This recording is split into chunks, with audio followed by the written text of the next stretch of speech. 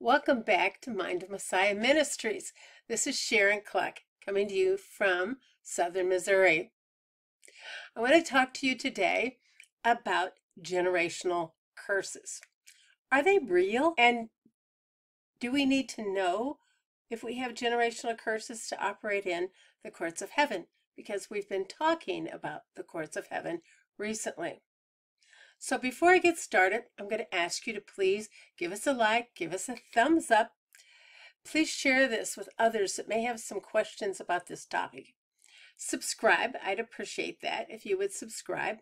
And please leave your comments below, down below, because I want to know what you're thinking. I want to know what you know about generational curses that I don't. Also, would you please finish this because it's not really very long, but if you get to the end, you'll see that we've made some conclusions, and I want to know if you agree with those conclusions or not. Today, I want to get into a subject that's quite controversial, generational curses. I want to know if you think they're real or not. So we're going to look at the scriptures to see what they say. Do they apply to a born again, regenerated believer that's sold out to Yeshua, Jesus, the Messiah? We've been considering the courts of heaven for several weeks now. And if you haven't seen those teachings on this channel, there's a teaching called Dealing with Satan the Accuser. And there's another one called Judgments from Heaven. You're going to want to go back and look at those to get some background understanding so when you finish listening today, go back and review those two teachings, and I'll put those links in the description. Much of the teachings on the courts of heaven address generational curses, are the sins of our ancestors. And even Derek Prince, whom I have had a great respect for over the years, he teaches on curses. And when he does that, he says you have to go back to the source of the curse. Well, we all know that that's not always possible. If it were, we could maybe address that, but we don't always have that information. So the question today is, are generational curses real and do they apply to born again Christians? The answer is that yes, there are curses, they do exist, there are generational curses that exist. That part is clear in the Word. The second question is not near as clear, and we're going to see that through the scriptures. Can they have influence over a truly born-again Christian?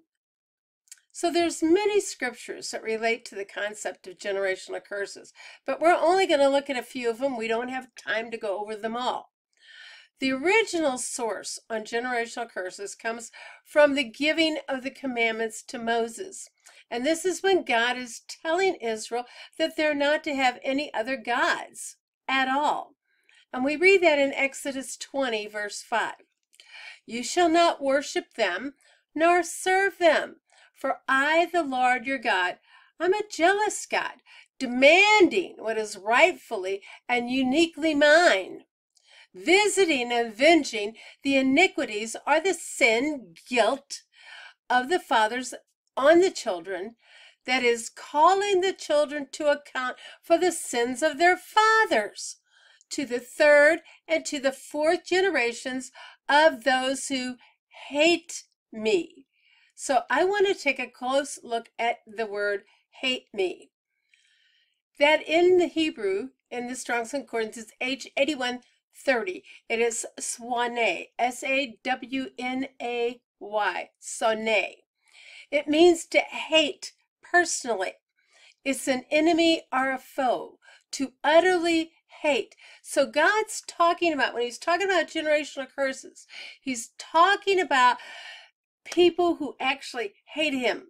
These are the enemies of God. They're not people who just don't know about God they're people who are enemies of God, people that are working for the kingdom of darkness. In Exodus 20, verse 6, it says, But showing graciousness and steadfast loving kindness to thousands of generations of those that love me and to keep my commandments. So when we look at this, the curses are affecting three or four generations. and the blessings pass to a thousand generations. This same scripture is repeated again in Exodus 34. So let's take a look at that. Keeping mercy and loving kindness for thousands, forgiving iniquity and transgression and sin. But he will by no means leave the guilty unpunished, visiting and avenging the iniquity, the sin guilt of the fathers upon the children and the grandchildren to the third and the fourth generation. That is, calling the children to account for the sins of their fathers. So those scriptures plainly say that children can be held accountable for the sins of their fathers. And then in Lamentations 5 7, it says, Our fathers sin, and they are no more. But it's us who have carried their sin. So he's lamenting over the fact that even though their fathers are dead, they're still having to deal with the sins of their fathers. That doesn't hardly sound fair. Well, let's look further and see what God says. In these scriptures, it appears that curses are passed to the fallen generations. And again, the question is does this apply to those who are born again? Those of us that come under the new covenant, under the assurance of the salvation in the blood of Lord Jesus Christ, Yeshua. There are other scriptures that appear to contradict what these verses are saying. Since the Word of God does not contradict itself, there has to be an explanation. So let's look at a few of these other scriptures that seem to be contradictions. The whole chapter of Ezekiel 18 should be read in context because God goes through three generations to make his point completely clear. I really don't like to do topical teachings that much because I really like to read within context, but you can't do that in 30 minutes. So I'm going to start in Ezekiel 18 and we're going to go from 20 to 24. The soul that sinneth, it shall die. The son shall not bear the iniquity of his father, neither shall the father bear the iniquity of his son. The righteousness of the righteous shall be upon him, and the wickedness of the wicked shall be upon him. Well, that doesn't line up with what we just read.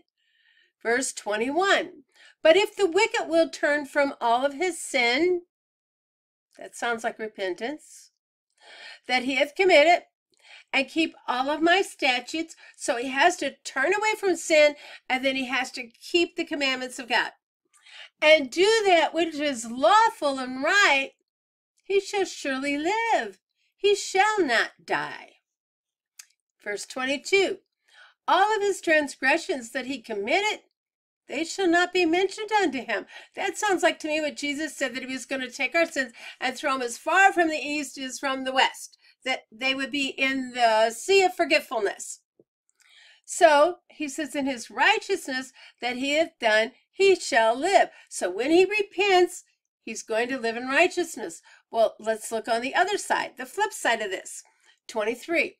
Have I any pleasure at all that the wicked should die, says the Lord, and not that he should return from his ways and live?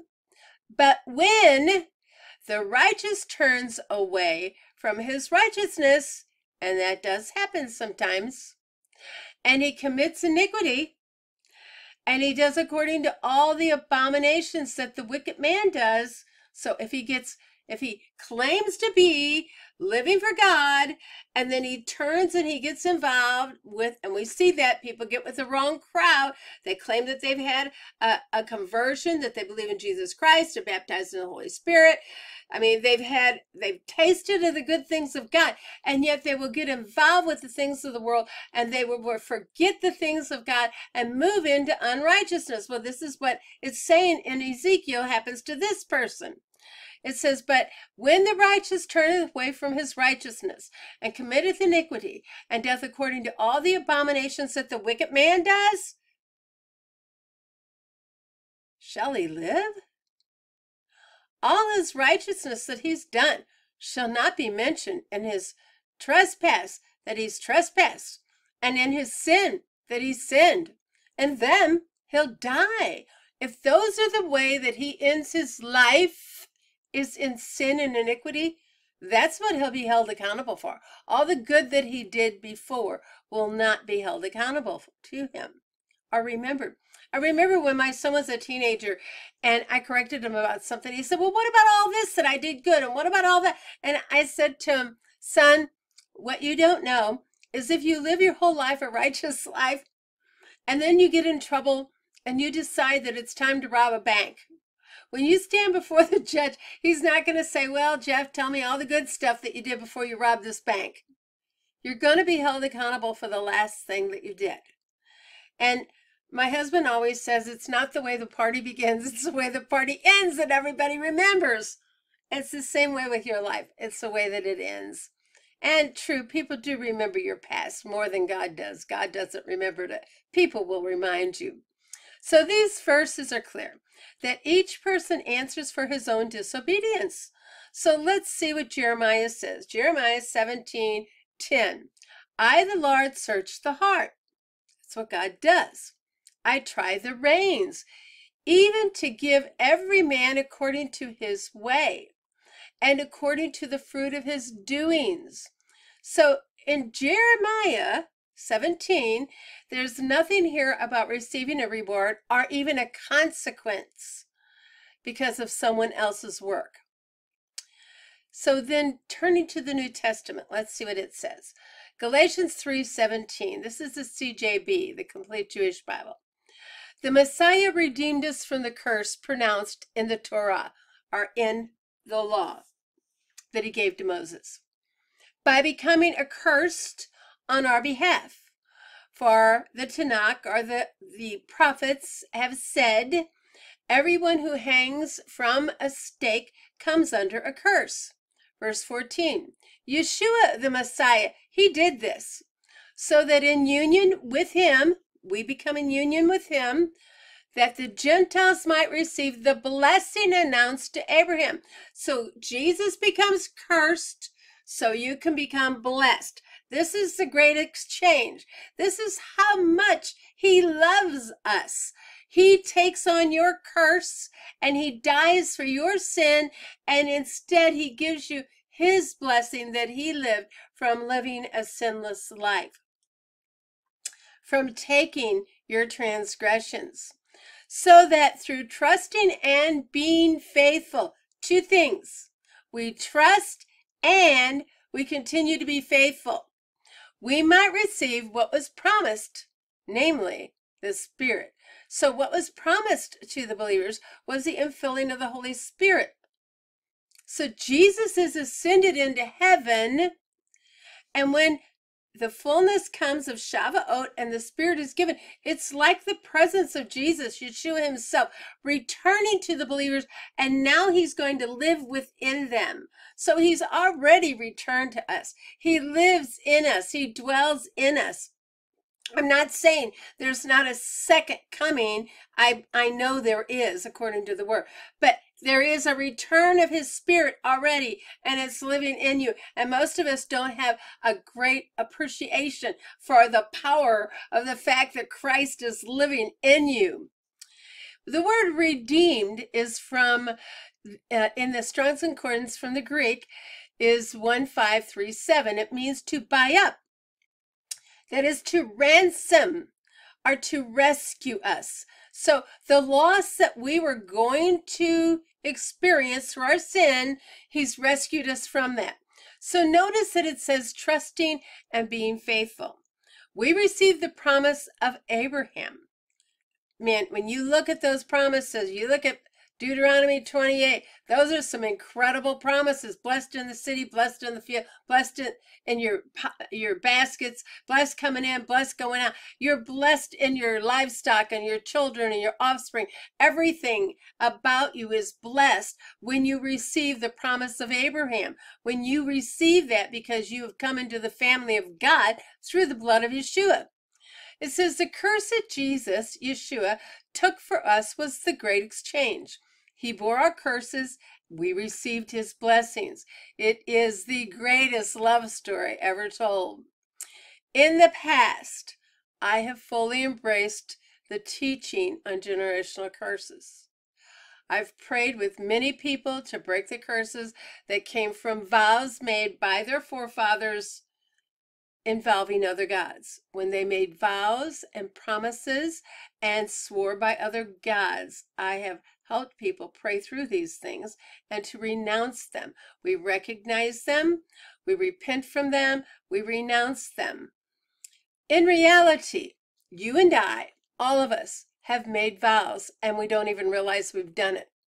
We say things like, I'll never do that again. Or I'm I'm never going to be like my mother. I will never give a person, that person, another chance. Do me once, shame on me. Do me twice, vice versa. Do me, do me once, shame on you. Do me twice, shame on me. My dad used to say that all the time. We've all made vows of one kind or another, and we fail to weigh the strength of our own words and what we might have set in motion when we spoke them. So recently, in searching the Word of God, I'm seeing generational curses in a different light. Believe me, I didn't want to do this teaching. The Holy Spirit kept dealing with me on this, and it's taken me 10 days to post again because I didn't want to do this. I kept going back and saying, Okay, I see it, Lord, I see it. And He kept saying to me, Sharon, you got to make this clear. We don't blame everything that happens to us in our life on our ancestry, on our bloodline, and on the devil. So let me go further and I'll explain why. I find myself asking are some of these things that we call generational curses, are they actually woundings that a person has suffered at the hand of others? Are we spiritually dealing with a curse passed down through the bloodline?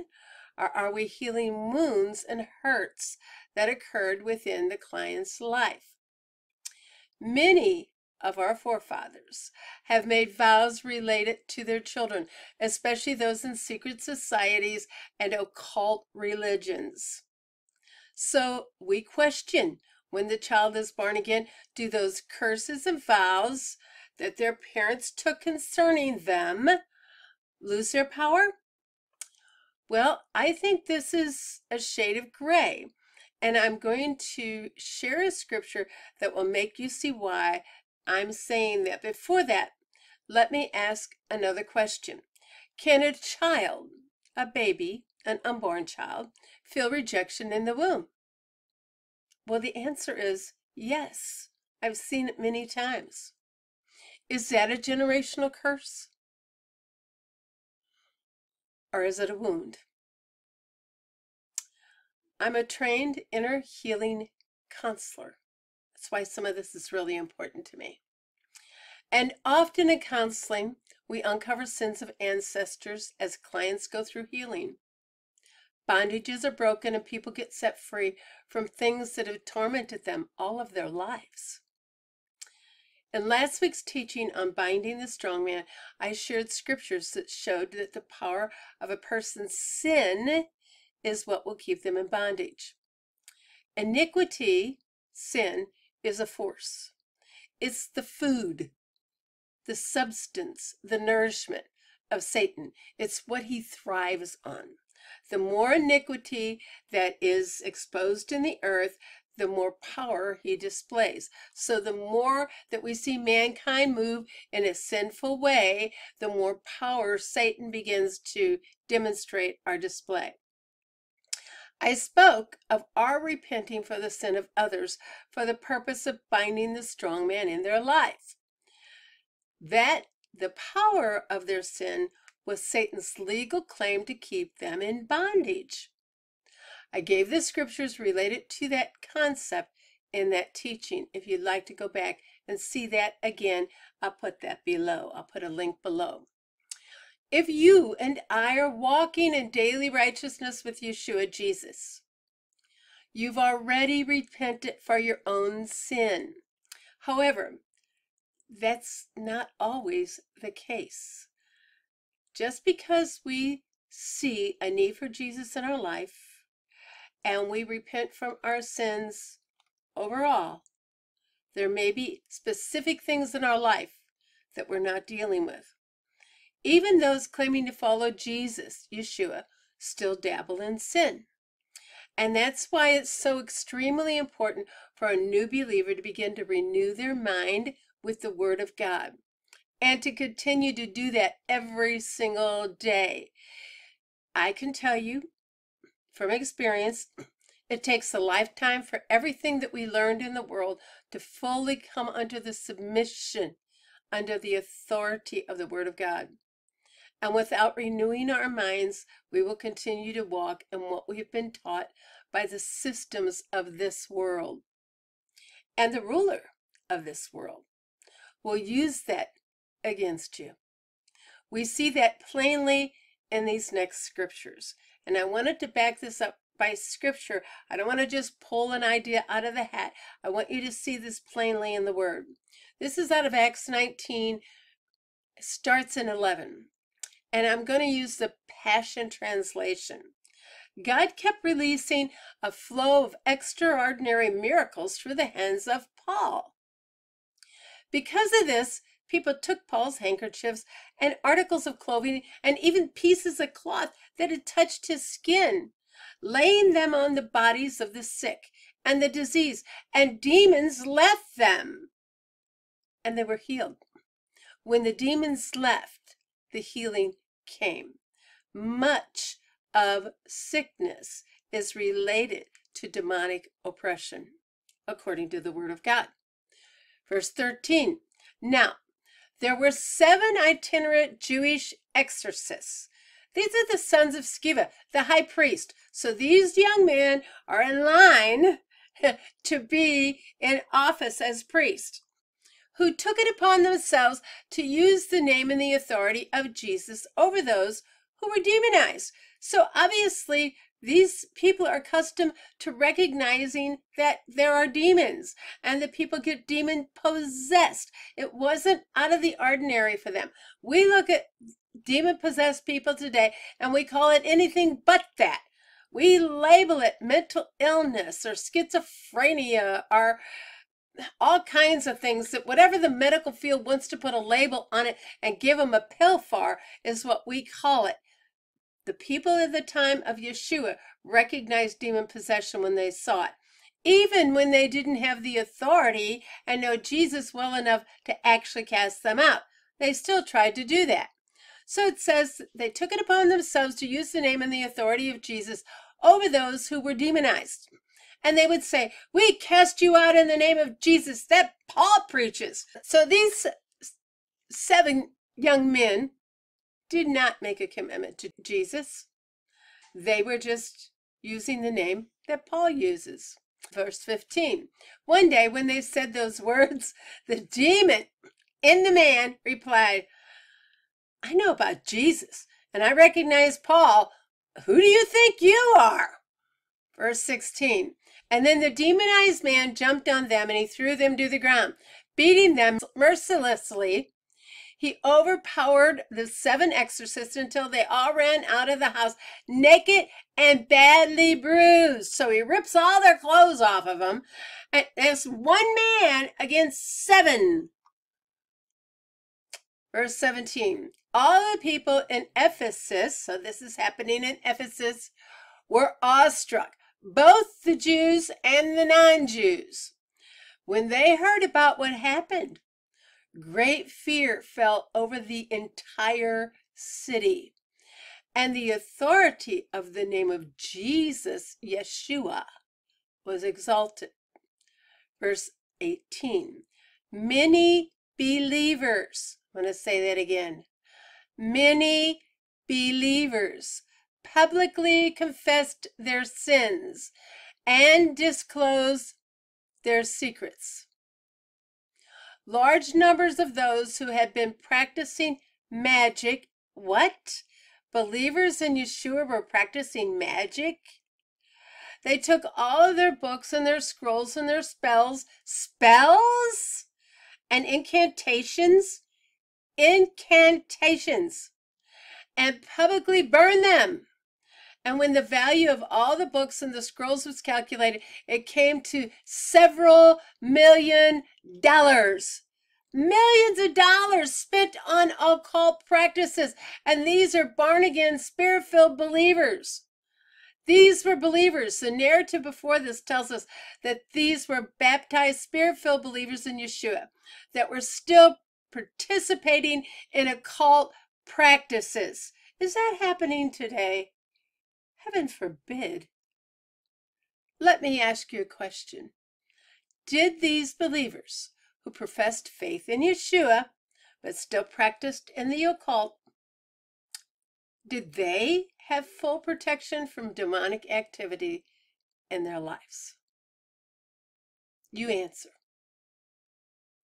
Is it possible that they could have brought a curse upon themselves while practicing spells and incantations that they're putting on other people? Are are summoning up demons themselves, are are trying to produce prosperity for themselves or whatever they were doing incantations for. If they learned these practices from their parents, well, is that a generational curse? Or is that a consequence of their own sin? Lots of questions today.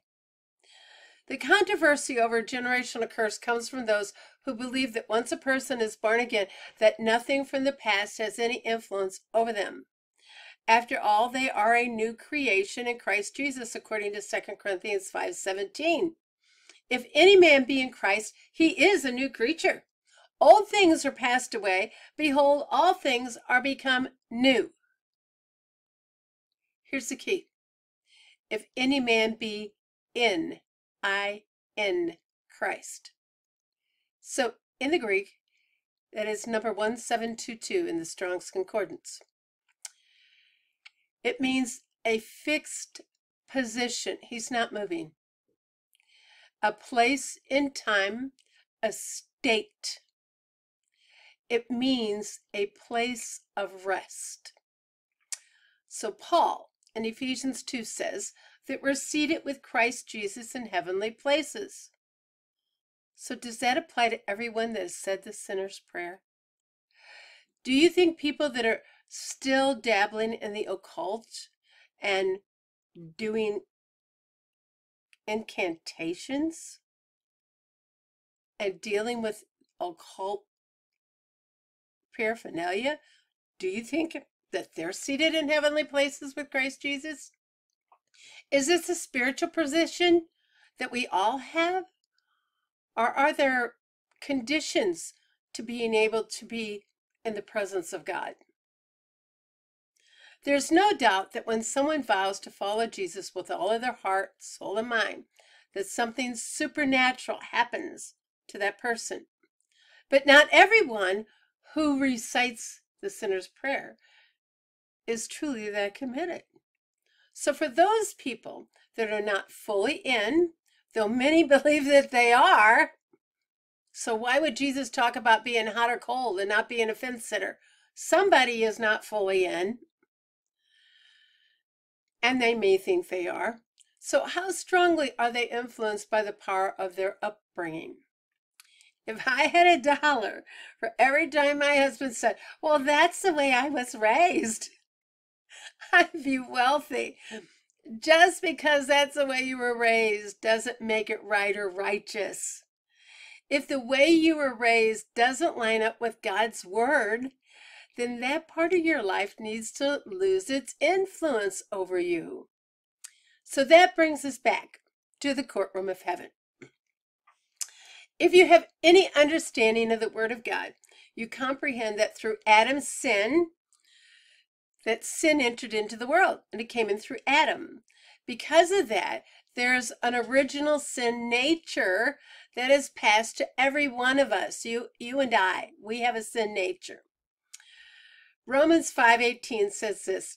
In other words, just as condemnation came upon all people through one transgression, so through one righteous act of Jesus' sacrifice, the perfect righteousness that makes us right with God and leads us to a victorious life is now available to all. It doesn't say all have it or all have obtained it. It says it's now available to us all. Verse 19, Romans 5, verse 19. One man's disobedience opened the door for all humanity to become sinners. Adam. So one man's obedience opened the door for many to be made perfect, perfectly right with God and acceptable to Him. So there's evidence in the scripture of righteous men repenting for the sins of not only their ancestors, but for the sins of whole nations. And Daniel is a perfect example, and even Isaiah did this. They both saw that being in the midst of ungodly people caused them to be unclean themselves. And that required their repentance on their own behalf, as well as on behalf of their forefathers. For Israel, they had a written record of the sin of their ancestors. Some of us don't even know who our parents are. That's the kind of world we live in. That's a major problem with us, needing to repent for the sins of our forefathers. There is no way in the world that we can possibly know every vow every idolatry, every oath taken by our ancestors. If the Spirit of God doesn't reveal that to us, we can't know what kind of deals were made with the devil within our bloodline. Listen, I could go to my own bloodline and tell you that I had ancestors that held seances and called up the dead. When I got born again, I renounced those things. I repented for my ancestors. Did I need to? Well, I'm glad that I did because I didn't want any part of that in my life. When we look at scriptures, it's clear that there is such a thing as a generational curse. It appears to be upon those enemies of God and the consequences of hating God and disobedience following generations that have been taught to continue in that sin will experience the curse of that sin. Listen, curses come through disobedience. It's clearly, read the chapter 28 of Deuteronomy, and it will tell you we can have the blessings, it's our choice, or we can have the curses, it's our choice. They come from disobedience. Blessings come from obedience, Curses come from disobedience. So, where do they come from? Well, do they come from the devil? Do they come from God? Do they come through the sins of our ancestors? Or do they come through our own actions? Proverbs 26 2 tells us, The curse causeless shall not come. So if there is a curse in your life or in your lineage, there's a cause for it, a reason for it. The scripture tells us we have been redeemed from the curse of the law. We see those curses listed in Deuteronomy 28. Every one of them comes from disobedience. Just like the believers in Ephesus, we can open ourselves up to attacks from the enemy. When we choose to obey God, he becomes our master. And Jesus told us that we can't serve two masters. He told us in Matthew 6 24. No one can serve two masters. Either you're going to hate one and love the other, or you're going to be devoted to one and you're going to despise the other one. You can't serve both, God and money. Well, the word money in the Greek is 3126. That word means something that is deified something that you worship, something that you hold in high esteem and you love it, like we're supposed to worship God. Romans 6 16 says, Know ye not that to whom you yield yourselves servants to obey, his servants you are, to whom you obey, whether you whether of sin unto death or of obedience unto righteousness. The courts of heaven are established. And even within the pages of the scriptures, we see them. I personally have applied the teachings of the courts of heaven, and I've seen amazing results. someday I'll get to share that with you.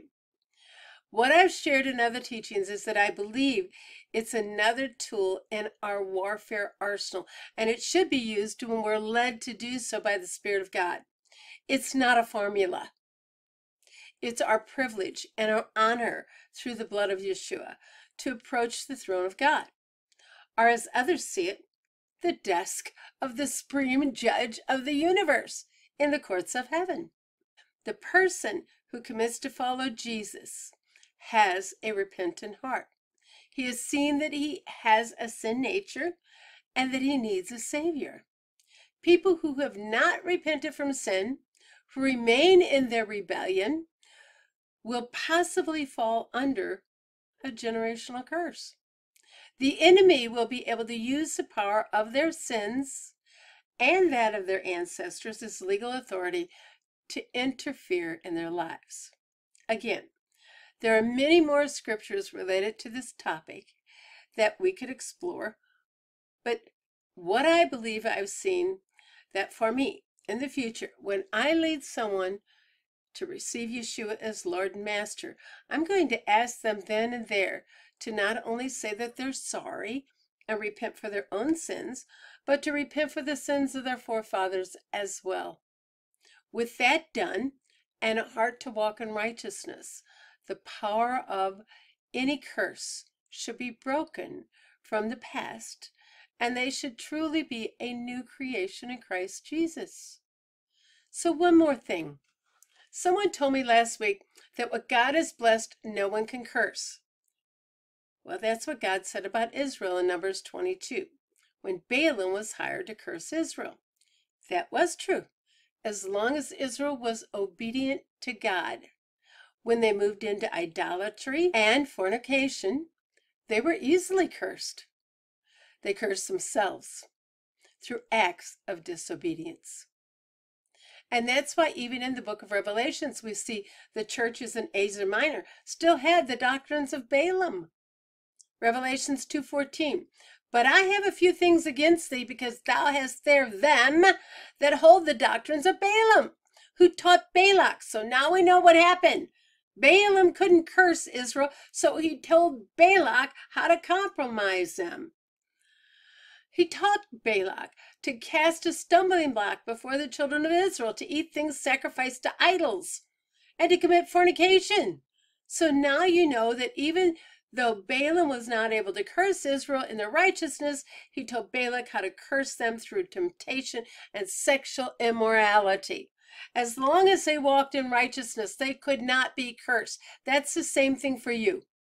If you follow this story in Numbers, you see how the children of Israel were tempted. And the reason that they ate things offered to idols was because they participated in the orgies and the worship of other gods. The food that was offered at the feast had already first been offered to Chemosh. The reason they ate the things offered to idols is because they participated in the orgies and the worship of other gods with the Moabites.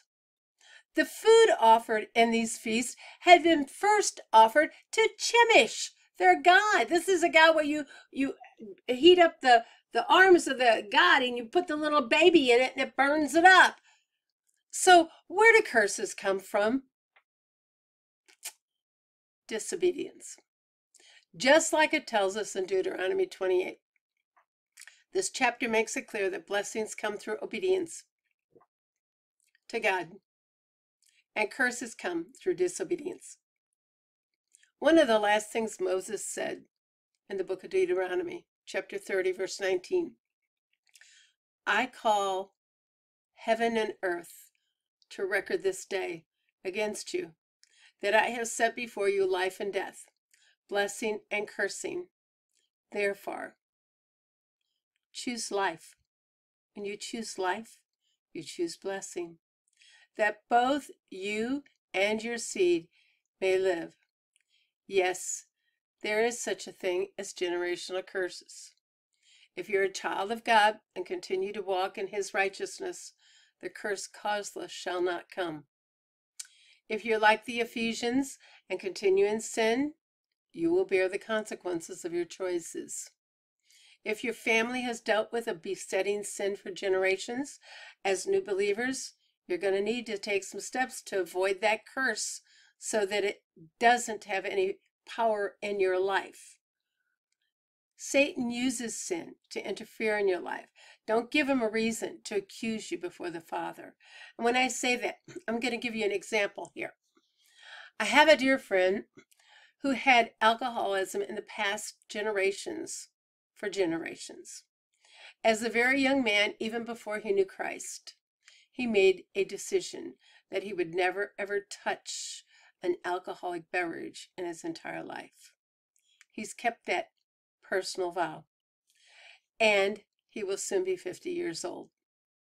He broke the power of that curse in his generations just by doing what was godly.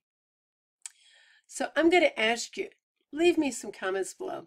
Do you agree with what I've shared here? Are curses something that can come on a person that's accept the new birth through the blood of Jesus Christ? Or is that something that we bring on ourselves by our disobedience? Just give me a yes or a no in the comment section below. And tell me what you think.